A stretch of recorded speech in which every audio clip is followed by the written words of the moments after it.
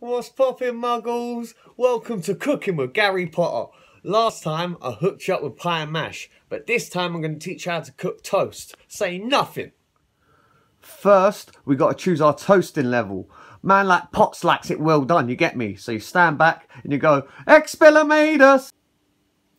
Come on, man, that's barely cooked. Expelliarmus!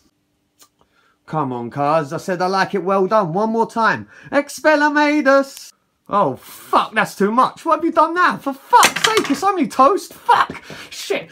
Shit, what am I gonna do? What am I gonna do? What am I gonna do? What am I gonna do? Fuck it. You know what? I think I'll just use the toaster this time. After we toasted it, next up is to butter and choose your shape of cuts. Now, in the chocolate spread video, I told you squares were better.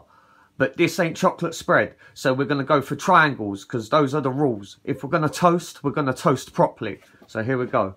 We'll cut it into triangles like that. Boom. And we just go...